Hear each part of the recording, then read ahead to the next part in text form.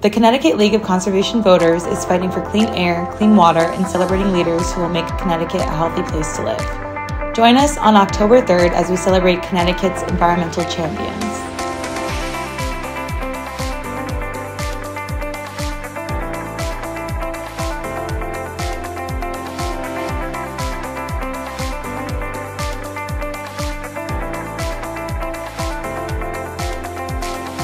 Join us at the 2023 Environmental Achievement Awards.